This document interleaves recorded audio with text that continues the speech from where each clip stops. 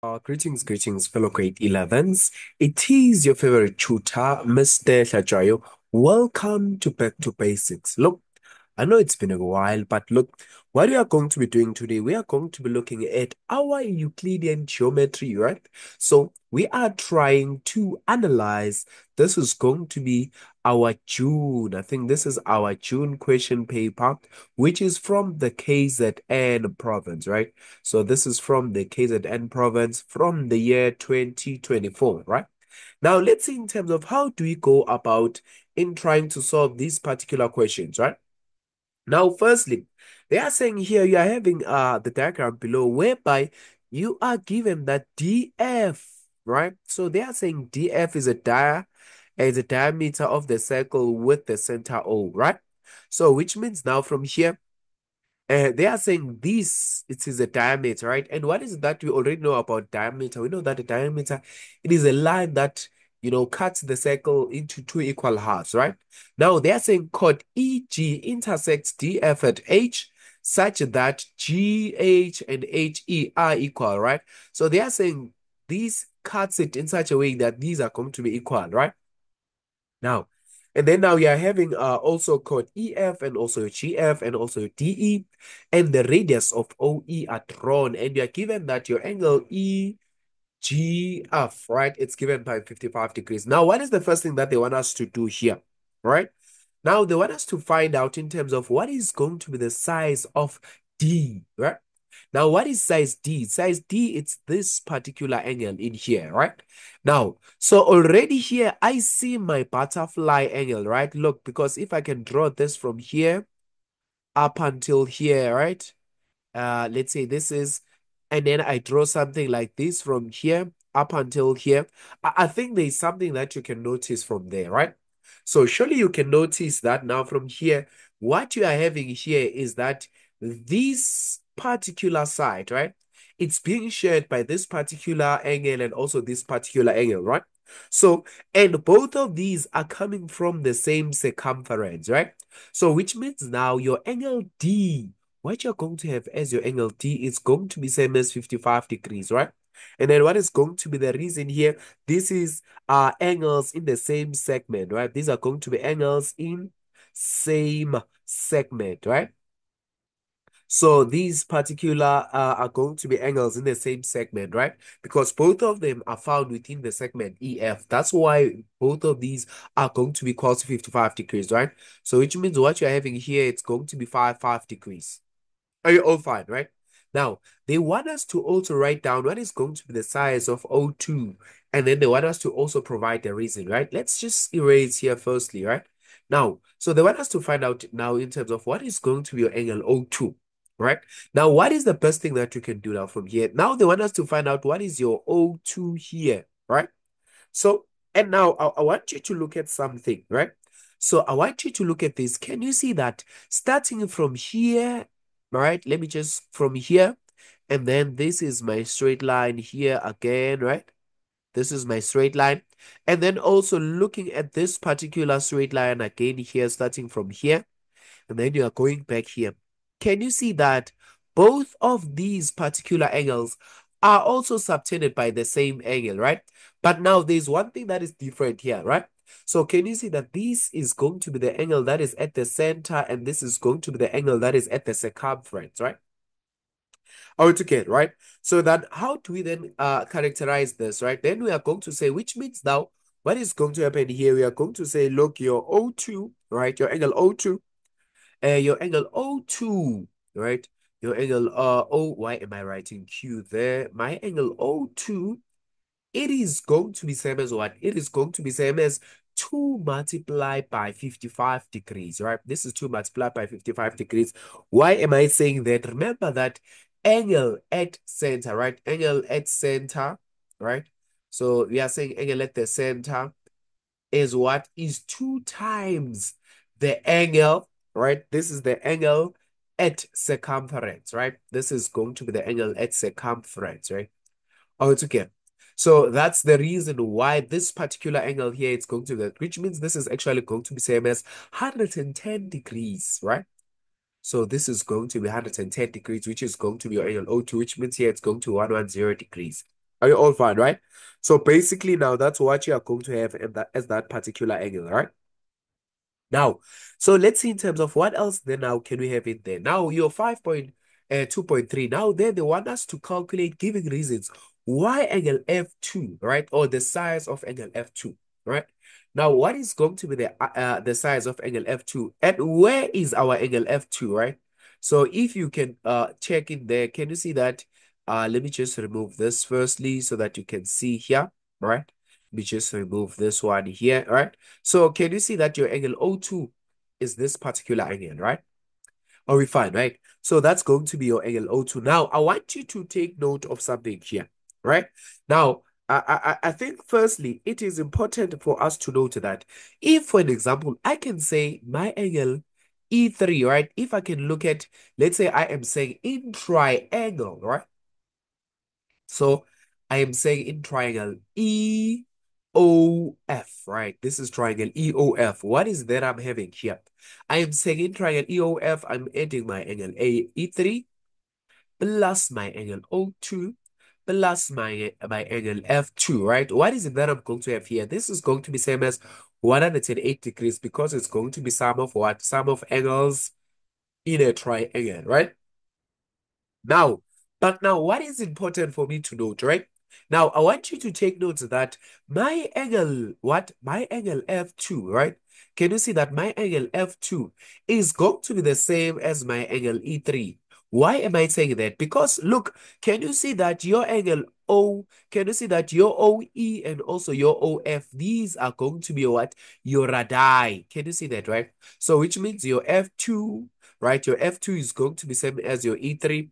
And then now what, what is going to be the reason for that? This is going to be angle opposite equal sides, right? So these are going to be angles uh, opposite equal sides, right? So, and then what is it that we know about angles that are opposite equal sides? They are going to be equal. Are we fine, right? So, because your OF is equals to what? Your OE. Are we all fine, right? So, angles that are opposite to equal sides, they are going to be the same, which means now, look, if I was saying Remember, I already know my O2. Remember, I was going to say, look, my angle F2 plus my angle E3 is going to be same as 108 degrees, subtract 110 degrees, right? And this is going to give me 70 degrees, right? If I'm not mistaken. But now, can you see that now, since your F2 and also your E3 are going to be the same, therefore, I'm going to make a conclusion that, look, my angle F2, therefore, right? My angle F2, therefore, it's going to be same as my angle E2, which are going to be same as what? Which are going to be both same as 35 degrees.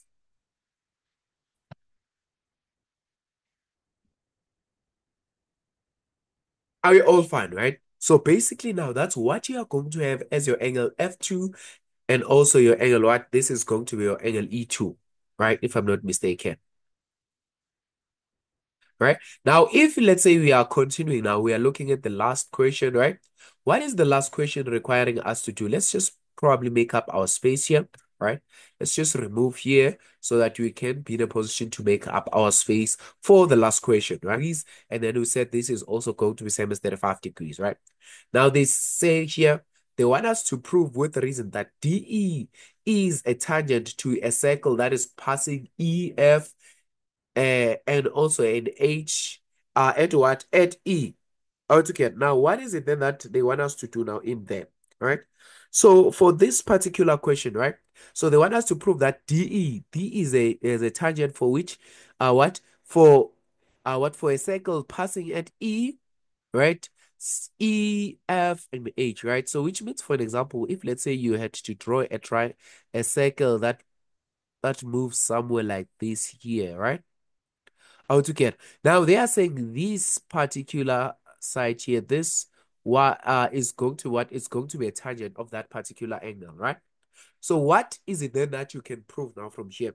So which means uh, from where I am standing now, what you can prove now from here to prove that this is going to be a triangle, right? So I can prove that my angle E1 is actually going to be the same as what? I can prove that my angle E1 is going to be same as what? It's going to be same as my uh, F uh, F2. Are we all fine, right?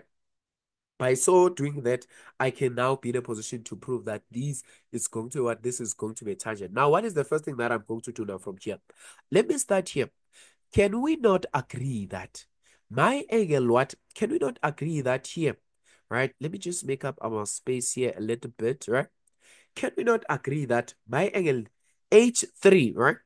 So can we not agree that your H3 plus uh, and also your H2 are actually going to be equal to 90 degrees? Look, let me say, for an example, your angle H2, right? Your angle H2 is going to be same as what? It's going to be the same as your angle H3, right? Why am I saying that? Maybe let me start with my H2. Why am I saying my H2 is equal to 90 degrees, right? So my angle H2 is equal to 90 degrees because, right? Because if a line drawn from what? From center that is perpendicular to the chord, it bisects the chord, right? And now what is it that you know? Already, if the chord are bisected, which means the line was perpendicular, here we are applying the converse of law one, right? Remember now, because they told us that E, uh, EH uh, and also your HC are equal. Therefore, I can now conclude that my OH is perpendicular to what? To my EH, right? Are we all fine, right? So I can say my H2 is equal to 90 degrees, right? Or actually, before I can do that, maybe I need to start by proving why is this 90 degrees, right? So uh, then I am saying my H2 uh, is equal to 90 degrees because, right? Because my, uh, what? Because my EH, or rather because of my what? Because of my uh EH, which is going to be the same as because of my EH, which is going to be uh, equal to what? Equals to my what? My HC. Why am I saying that, right? So which means I am saying a line drawn from the center perpendicular to the chord, it bisects the chord, right? Actually, let me just put it this clearly to say line. This is line from center, right? This is line from center uh, to uh, the what? To the midpoint. To the midpoint of a what? Of a chord, right? So this is line from center to a midpoint of a chord, right? Now it bisects the what? It bisects the chord. Are we not fine, right? So which means we can agree that your H2 is going to be same as 90 degrees, right? So can we not agree now that your H3 is going to be the same as your H2, which both are going to be 90 degrees, right? Why am I saying that? Because of these are going to be sum of angles in a triangle, right? Or sum of angles in a straight line, not sum of angles. These are going to be angles in a straight line, right? So these are going to be angles in a straight line. Why am I saying these are angles in a straight line, right? Because if this is 90, this is going to be 90 because all of them angles in a straight line must add up to 180 degrees. Are we together? Right? So these are going to be therefore angles that are going to be in a straight line. And now that I've done that, what else then now I am going to do now from here? So I want you to look at something here. Now, if this is 90 degrees, what is it then I can do now from here? Can you see that I can say my angle H3 plus my angle D there? Let me just check what is this D, right? My angle D plus my angle D, right? Plus my angle D here, uh, plus my angle E1 is going to be same as 108 degrees. Why am I saying that? These are these are going to be because sum of what? Sum of angles in a what? In a triangle, right? Now, can we not agree that my angle E1 is going to be same as 180 degrees? Subtract 90 degrees plus 55 degrees, right? And then what is this going to be now? Can you see that this is going to be 35 degrees, which is going to be this one, right? So can you see that this is 35 degrees? And now if this is 35 degrees, now can you see that your angle what? Your angle E1, your angle E1 is actually going to be the same as what? Uh, it's going to be the same as your angle F2. Okay, right? So if your angle E1 is going to be same as your F2, why am I saying same as F2? Because F2 is also 35 degrees, right? Now, therefore, I can say my DE is a what? My DE is a tangent because if you are, we had to draw a circle that passes here, right? A circle that passes in here, you'll realize that this will be a tan chord. Are we together, right? So this is going to be DE is tangent, right? So this is DE is tangent. Why am I saying DE is tangent? This is converse tan chord theorem. So this is converse tan chord theorem. Okay, right? So basically, this is the reason why this is going to be like that. Are we fine, right? Hopefully, all of this makes sense, and you are in a position to understand, uh, to understand these types of questions whenever you are given, right? Thank you very much for listening.